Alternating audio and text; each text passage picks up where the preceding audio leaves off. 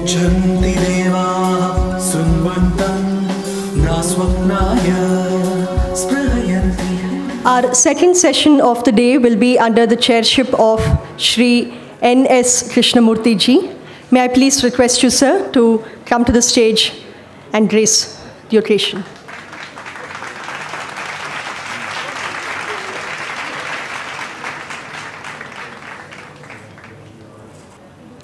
We have two paper presentations lined up under this session. The first is by Dr. Radha Bhaskar. She's a distinguished musicologist, musician, and teacher. She will be presenting her paper on experimentation in Carnatic music How Far is Too Far? I would also like to mention that detailed profiles of all our speakers as well as the chairs are on the website. I request you all to peruse them there. Namaskarams to all of you. As one who has participated in many seminars, I do understand how challenging it is to keep the brain of the audience in an active mode after a sumptuous lunch like this. and I also have to push myself, I suppose. But nevertheless, it's a very interesting topic, and I'm sure all of you will be actively participating in this because it is a very contemporary subject also, where all of us do fit in in some way or the other. Carnatic music, as we see today, is a system of music that has evolved over the past several years to its present style, form, and content. While it's regarded as a traditional system, it has also offered space for several experimentation and changes over the years, and thus been a dynamic form all through. In this context, it's very important to remember that experimentation as a process is very important in every sphere, and it is all the more vital in the art field to keep it alive and moving. Now, this experimentation has got uh, two sides to it which we need to really understand. That which leads to the progression of the art, and that which disturbs its fundamental ethos and thus is detrimental to the traditional values of the art. Now, in this, we see that new compositions have emerged with respect to their form and content. Over the years, we have seen that new ragas have been created, new talas have been explored, new instruments have been devised, new method of presenting music has emerged. And now with the music itself becoming a formal presentation through sabhas and cultural organization, music has become a variety package where artists try to experiment and discover new avenues to present the form and content of the music. Now, though there are different ways of arranging the musical material in a concert, there are also some conventional methods of presentation which have come down to us through the Guru Shishya Parampara. This is just a model of a typical Carnatic concert that has been handed down to us from the time of Sri Ariyakudi. I'm sure that all concert goers will be aware of this, so I will not go into this in detail. Just to show you a model representation of how a Carnatic concert as featured today is. With regard to the Carnatic concert as we see today, I just tried to figure out some salient features. It is usually a presentation of several items arranged as in a specific order based on the artist's own experience, taste, and conventional methods. And also we see that as far as Carnatic music concerned, there are many forms presented in a concert. This is something very, very distinct to our um, music, where in Hindustani music, for example, you would see that a khyal concert would feature only a khyal, and maximum at the end you will see a bhajan being presented, or a Dhrupad concert featuring only the Dhrupad form. Whereas our system has been such that it has encompassed so many varieties of forms through the ages. For example, including, we also discussed in the morning, uh, Dr. Nagaswamy was explaining to us all the forms which has come down to us, like the Varnam Kriti, Ragam Tana Pallavi, Viruttam, Javali, Tillana, Ashtapadi, Bhajan, Tirupugal, and many more such compositions. Of course, now uh, the latest trend is also the inclusion of bhajans, abangs, and many other such devotional pieces. And as for the language, traditionally we see that Telugu, Tamil, Sanskrit, and Kannada are the languages. And the main talams, though we see that theoretically there are a number of talams that could be devised, In the concert genre, we see that only the Adi Rupaka, Mishra Chapu, and Khanda Chapu predominantly occupying a major space in the concert tradition. And uh, very, very important is the also which uh, pertains to our conference is the fact that the concert encompasses songs on various deities. That is the core of our kacheri. As each composer has given vent to his devotion through an outpour of songs on various deities, and some composers have concentrated only on one deity. For example, if you take Shama Sastri, he would have only uh, composed on Ambal Devi and her forms, whereas, or Gopalakrishna Bharati, for him, Shiva was the main uh, deity on which he composed. Whereas you see that uh, composers like Dikshitar, for example, have composed on almost every deity that we can think of. First, I'll be talking about the concert format and then I'll go to the compositional forms and the experimentations that have happened. This traditional format, which has survived over the years, as we all know, has been devised by Sri Ariyakudi Ramanuja Iyengar in the 20th century. And uh, this was a very major, important landmark, I would say, in terms of a great experimentation against the background of earlier concerts, which did not offer such a variety fare. In fact, uh, my thesis was, uh, PhD thesis was on the form and content of Carnatic concerts, and uh, I got to uh, refer to one of the theses which was written in 1946, which has clearly shown how that a concert had only very limited number of pieces and uh, very interestingly the kritis which we form as the core, we present as the core of today's kacheri were labeled as tukkadas at that time. So that experimentation of Ariyakudi Ramanuja was a major landmark in terms of bringing the kriti as the main core of our Carnatic kacheri. This shift in the focus of Carnatic music, as I said, is attributed to Ariyakudi and uh, this has been one of the path-breaking experimentations as far as the concert presentation is concerned. This format was of course necessitated due to the shift in nature of audience and coming in of more sabhas which catered to a larger and variety of people, varied section of people. In this sense, the experimentation that Ariyakudi did with regard to restructuring the content of concerts was a successful one and it has stood the test of time. And uh, if you look at the concert structure over the past uh, 100 years now, we see that it has been almost the same in terms of having the compositions of all these uh, great composers as the main core of the concert. Here we would also like to make a mention that unlike our counterpart Hindustani music where they have been very, very strict or rather I would say traditional in terms of keeping only to restricted forms, we have encompassed a wide variety of forms into our music and uh, made them a part of it. For example, in this I could give you examples of uh, uh, non-kritis, what I call, like the Ashtapadi, Tarangam, then uh, Annamacharya Padas, patriotic songs, Tillana, Utsav Sampradaya Kirtana, Divyanama of Tyagaraja, the Bhajan, Abang, Tevaram, Tirpugal, Kavadi Chindu, folk melody, and even now a bit stretched further, even Rabindra Sangeet has become a part of the Tukda item. So that's the kind of expansion that has been happening over the years. The composition of Carnatic music is most often not presented in its original form. This is another thing I wanted to share. As intended by the composer, it is ideally crafted and used as a tool to exhibit the technical skill of the artist, and this is a significant change we see over the years now. In fact, this trend of making music more intellectual than, than devotional and giving the tag of being art music is getting more intense.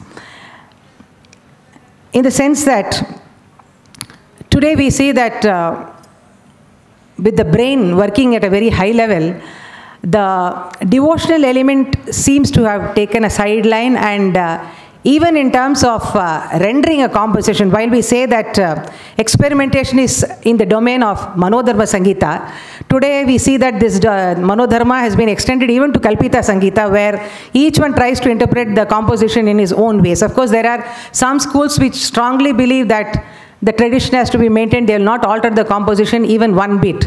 But then as part of the concert genre, from what I observed, I see that even from my own school, I belong to the Semmangudi school, where I see that though we did learn the composition in a particular way, when one becomes a part of the concert genre, I mean, he becomes a concert performer, then lot of modifications, embellishments are being made to the composition to make it what they call as concert worthy. Now, that is another big subject. In terms of making it a craft, it is no more just a composition, but a kind of a craft you're doing on it to make it a concert worthy presentation. Then, many experiments have been attempted over the past 30 years to put the material of Carnatic music into a new garb. And in this uh, experimentation of putting the Carnatic music into a new garb, we see that some of them have been very meaningful experimentations, and some of them we see are, as uh, our morning, our uh, scholar was telling, where you just do it for the sake of doing, you do not want to listen to anybody, but you just want to do it. And uh, experimentations, just I have not uh, mentioned in the PowerPoint here, but of course, I myself being an organizer for the past uh, 25 years, we run the organization Mudra. We have tried out various kind of experimentations, but all the experimentations have been done with a lot of research in the sense that whether it will be meaningful in terms of reaching it to the audience. That's the first question we ask.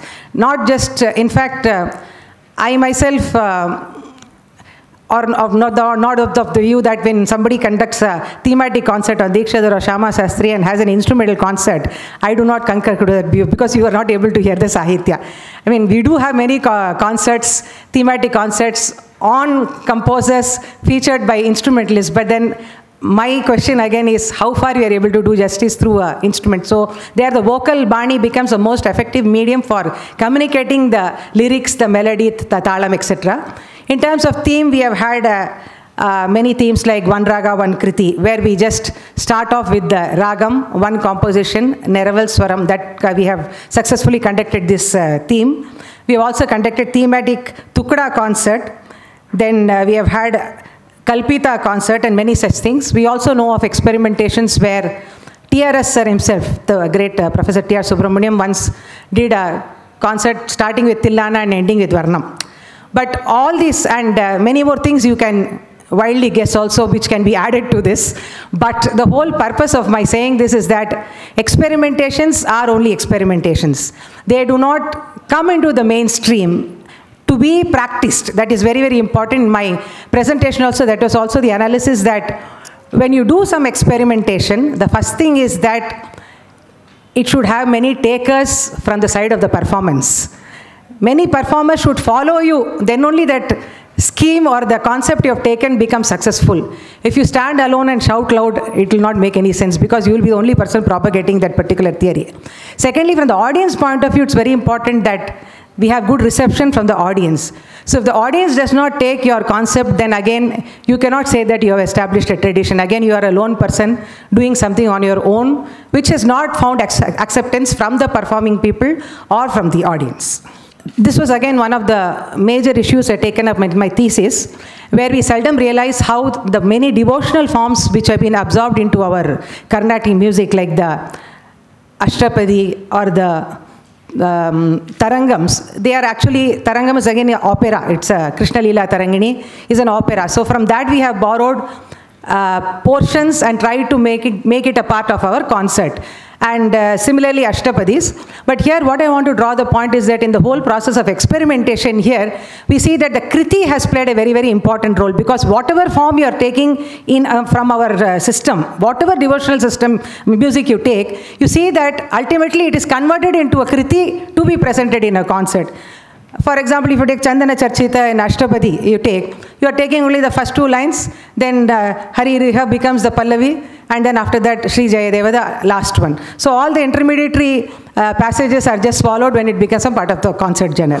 This is applicable to many such uh, devotional pieces which have come into our fold. Whether it is correct or not, I don't know. And also we see that uh, even in the case of Tyagaraja, where Swararaga Sudha has got uh, three charanas, but I'm sure none of you have heard the other two charanas, only one charana we present in the Kacheri.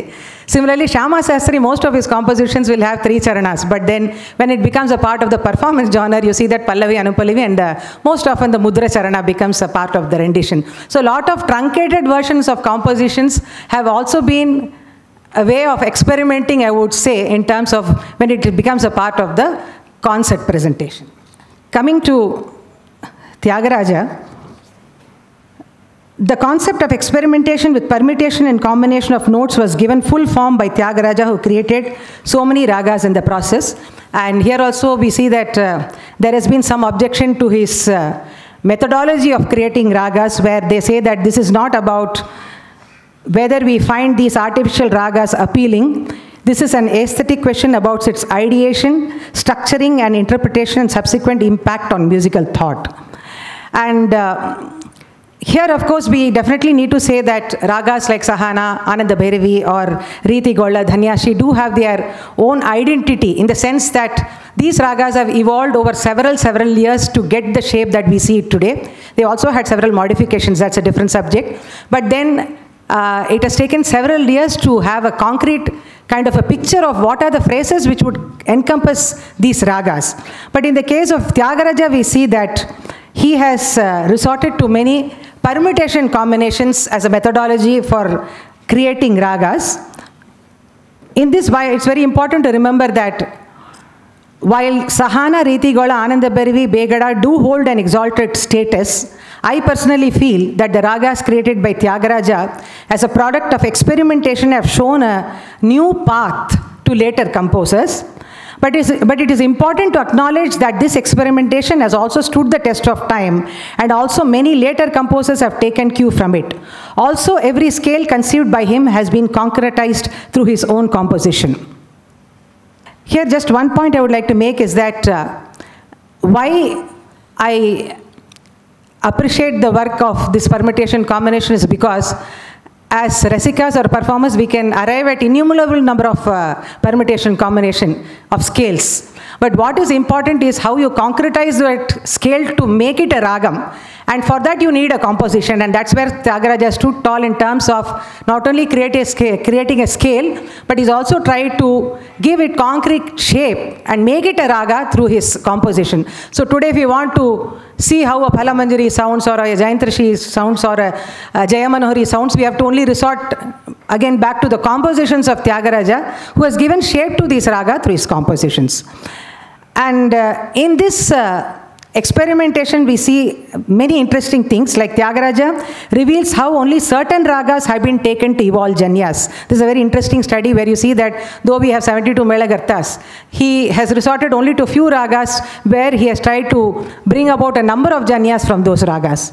And uh, another example, uh, I don't have time to sing now and show you, but just like to share with you that while examining, I found how he has given a distinct stature to one Melakarta and its consecutive janyas. For example, if you take Kiravani, how he has given a distinct character to it, and the two offshoots come from it, Kiranavali and Kalyana Vasantam, which come from this uh, Kiravani, each one has been given a different character. Though they are janyas, they all of them share a very, very distinct character of its own, and that's a great contribution he has done as a result of experimentation. Similarly, in the case of uh, three pairs of ragas, we can take like Shubhapantrali, Panturali, and uh, Varali, where you see that Varali takes the Gandhara number one, Pant, uh, number two, and Panturali takes a third variety of the Gandhara. So it's not just a grammatical way of approach, three different compositions if you take of his.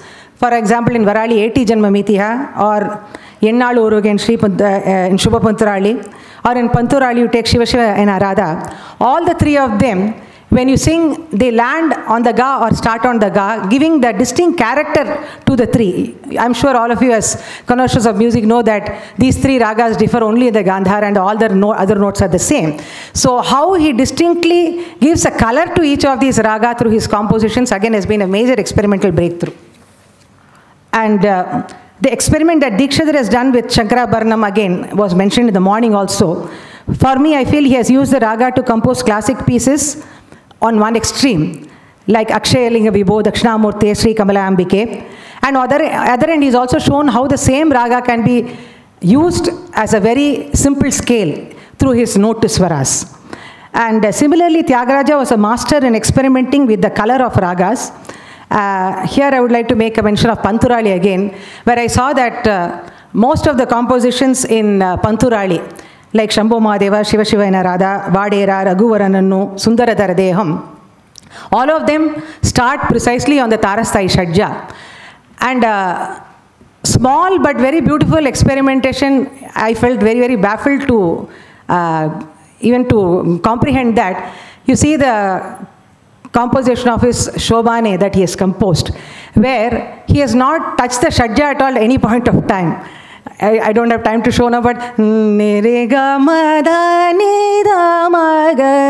re so அவ்வளோதான் அந்த மேல் சட்டமே த he doesn't touch வேற ஷம்போ மக சிவ சிவ சிவயன வாடேரா ரகுவர சுந்தர தர I can go on like this so where you see that it starts on the shadja but then a beautiful experimentation of how the same raga can sound even without touching the தாரசாய் shadja is a beautiful conceptualization according to me to sum up, the composition is a pivotal material around which Indian classical music has evolved. And uh, while this is true of both Hindustani and Carnatic music, the concept, import, and purpose of a composition is quite different in the two systems. And uh, just like to quote Dr. Premlata Sharma here, who says, composition is a repository of the nuances and contour of a raga and sets the model for the blending of text, melody, and rhythm. Improvisation without composition could be accepted as the highest form of art that is art music, but it should not be forgotten that the composition not only serves as the basis of gaining entry into the intricate portals of a raga, but also an interesting and enlivening corollary of independent alapti. And it's a very strong component of the oral tradition that sustains the raga, tala, and text. Hence, the loss of its due importance is fraught with dangers like over abstraction, complete annihilation of poetic content, and lack of a frame, etc. To conclude, this is a very big subject, of course. I'm running at jet speed, I know that also. Sahitya, again, the main crux of our conference itself, that Sahitya in Carnatic is not just a cluster of words. Sahitya and Sangeeta are interwoven so beautifully, and that is brought out in the previous sessions as well. The rich Sahitya instills a sense of responsibility to give good music and to understand that no compromises are to be made both in the Sahityam and Sangeetam quotient of the composition. Sahityam gives Sangeetam the exalted status. Thus, words and syllables combination is what makes the music sublime. And uh, music without words has never been in our culture. That is something very, very important. Remember, right from the time Sarah was also mentioning Tevaram, Dirpugal, Arpa, whatever you name the composition, the musical element of the composition has come through only the Sahitya. So the Sahitya is extremely important as far as our tradition is concerned. And Sahitya is thus the carrier of a tradition also. And uh, of course, there are some anti-Sahitya brigades who say that music can exist by itself as an abstract form. But the reality is that you cannot separate Sahitya and music. And the Sahitya of our great Vaggeyakaras is a treasure of information about our spirituality, culture, and deities of the Hindu pantheon. And it instills, instills bhakti in the mind of the singer and listener and takes him to the highest realm of divinity. Finally, I'd like to conclude. Experimentations are thus very essential for the growth and flourishment of an art like Carnatic music. And uh, the outcome of the experimentation is what makes the art take different courses over different periods of time. But the most important thing is making an experiment meaningful, is in being faithful to the musical tradition in terms of preserving its core values. While the intelligence quotient in artists has had a great impact in recent years in making the music more thrilling and entertaining, it is important to remember that the primary purpose of Carnatic music is to enrich and elevate the listener. So, in this context, experimentation should be done with a sense of responsibility and integrity towards a rich tradition that has been nurtured by great Vaggeyakaras and Vidwans over so many years. Thank you very much.